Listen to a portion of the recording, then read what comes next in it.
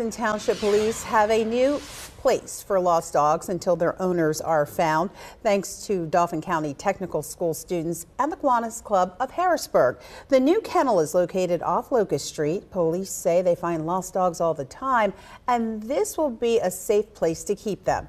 They can house up to three. Usually lost dogs would stay at the Humane Society, but the hope is it will benefit the dogs as much as the students who built it. Well, any time that you can tie a student's learning to a real world need, it's really powerful and it increases that level of learning exponentially. So it really brought a lot of meaning to the students and the work that they were doing. Wow, great job. Well, Lower Paxton police say so far this year they've already found 30 lost dogs. And still ahead.